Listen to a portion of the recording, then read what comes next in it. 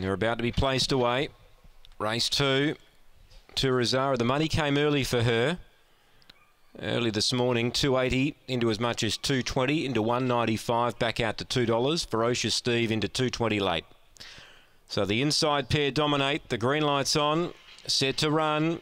Favourite Turazara racing, and the inside pair began okay. Turazara is going to muster up and lead. Ferocious Steve tried to rail up behind it. Deep Out Girl on Fire progressing from Shabby Chevy.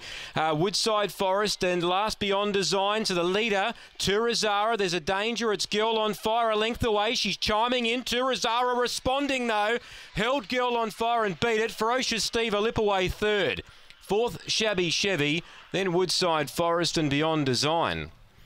Time here similar to the first. 20 even the time.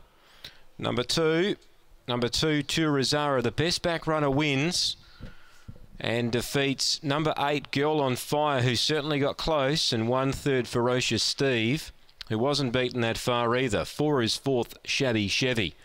2814, take note, 2814, 20 seconds even the time. 465 early, 733 mid-sectional, and the run home was clocked in 12.17, and it's 2814 standing by for margins on race two.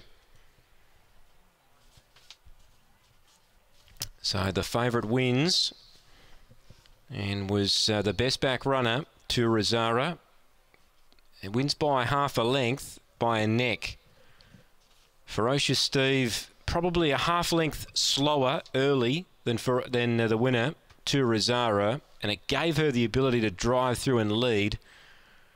And once she was out in the lead role, it's going to be hard for them to catch her. Girl on Fires ran really well, covered more ground than most. And Ferocious Steve attacked the line well. 2814, good race, second event, Angle Park.